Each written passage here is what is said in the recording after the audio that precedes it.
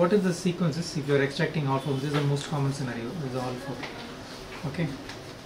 Mm, theoretically, you should not elevate the gums. Usually, we elevate the gum during extraction, but theoretically, what they are saying is don't elevate the gums to preserve no some bone crestal bone resorption and all maybe 0.5 mm something but if you don't elevate the gum you cannot no, uh, catch uh, uh, the tooth apically with forceps.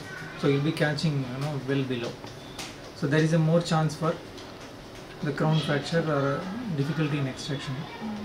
It is better to elevate the uh, gingiva and catch properly with a forceps than to uh, break it and do it a big flap and remove the bone and cut the root. So better elevate the gum nothing wrong in it. Okay and select the proper forceps. The blade should not touch the adjacent tooth. It should be very wide. Okay? Regular premolar forceps is enough. Okay? So giving force as we already discussed give apical force maintain that apical force and give buccal and lingual uh, pressure or buccal and palatal pressure. The pressure should be more towards the buccal less towards the palatal mm. a jiggling motion is okay. Or you can try one more technique. Theoretical technique is apply pressure buccally for 10 seconds and apply palatal pressure for 5 seconds then apply.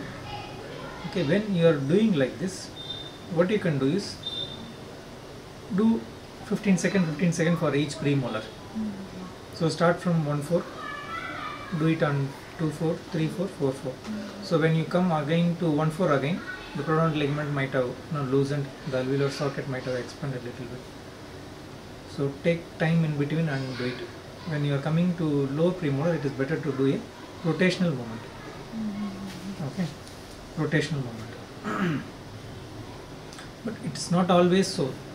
Theoretically for lower premolar it is a rotational movement sometimes you may get some extra root in the lower premolar mm-hmm. It is not always round in cross section sometimes it is buccolingually uh, it is flat. So you may, you can give a little bit of buccal lingual movement also. Okay.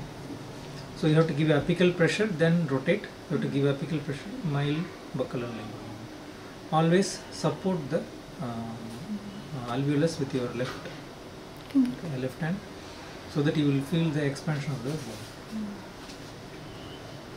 many times if you extract for a young patients say for school going kids below 16 18 the extraction will be quite easy because the bone is little soft and pliable. But for um, little uh, 23 24 25 the extraction will be sometimes it will be very difficult. So whether the extraction is easy or difficult for ortho patient it depends on two categories two things. One is the roots the root anatomy the root is very thin oh, tapered um, right okay. If the root is any trouble then you will get difficulty in extraction the second thing is buccal bone. The quality of the bone okay. Since you are having cbct if you are doing premolar extraction or the extraction check the cbct once. If the buccal plate is very thin or the bone is very cancellous the extraction is quite easy but if it is uh, thick or if the bone is not cortical the extraction may be a little tough. Okay. If the um, ortho treatment has started few months ago and the tooth is also bonded already then you are extracting now then it is extremely easy because because of ortho it is already loosened. Okay. So some orthodontists use it as a technique. They do force for one month then after second month third month they can extract the extraction is very easy but if it is not bonded and no force is given then you have to be very careful. Okay as already told by orthodontist that day one more technique is you can apply separator for one or two days then you can extract then the extraction will become easy. Okay. And theoretically one more thing is after extraction you should not compress the socket that you can follow. There's no problem. and one more thing in ortho extraction is don't give uh, uh, NSAIDs like Brufen, uh, diclofenac don't give avoid giving because they may interfere with the tooth, movement theoretically it is that so a plain paracetamol is more than enough. No need to give antibiotics. Don't give antibiotics because it is not an infected tooth.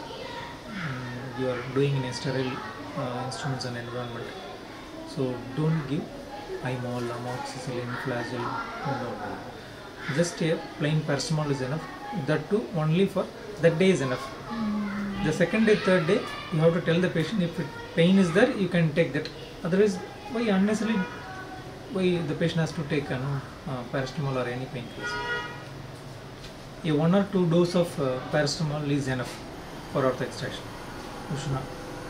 Unless you are doing a traumatic extraction, there is no need for a painkillers or antibiotics. Okay. The main complication of uh, ortho extraction is, as I told in the beginning, extracting a wrong tooth. Okay. If immediately after extraction if you came to know that oh I have done extraction and it is still in the forceps or in the tray then immediately you can put it back the tooth in the socket it will take up there is no need to worry but if it has gone to dustbin or you realize after one or two days then it is a irreversible uh, injury to the patient then everyone is in big trouble leave out all ortho extraction any extraction you have to confirm with the patient before that. The right side last tooth I'm going to extract right, you have to ask the patient. Or you can tell the patient to uh, touch the tooth. Okay. The second complication of ortho extraction is breakage. If it breaks, then immediately you have to go for a uh, root sectioning and removing with the periotome and uh, combine with piezotome and uh, uh, to remove it without much damage to the bone, alveolar bone. Okay. Third complication is you couldn't able to remove it. or not able to uh, shake the tooth. The tooth is not at all luxating.